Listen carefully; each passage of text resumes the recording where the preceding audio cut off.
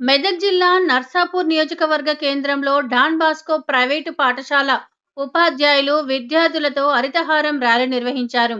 ప్రభుత్వ ఆదేశాలనుసారం రేపు కోటి మొక్కలు నాటే కార్యక్రమంలో భాగంగా తమ వంతు బాధ్యతగా మొక్కలు నాటే విధంగా ప్రతి ఒక్కరూ తల్లిదండ్రులు బాధ్యతాయుతంగా మొక్కలు నాటాలని ప్రధానోపాధ్యాయులు మేఘన తెలిపారు.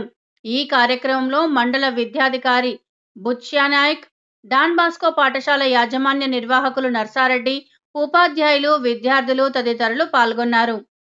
నేను సెంట్ ఆల్బర్ట్స్ ప్రిన్సిపల్ని మేఘనా ప్లస్ మా డైరెక్టర్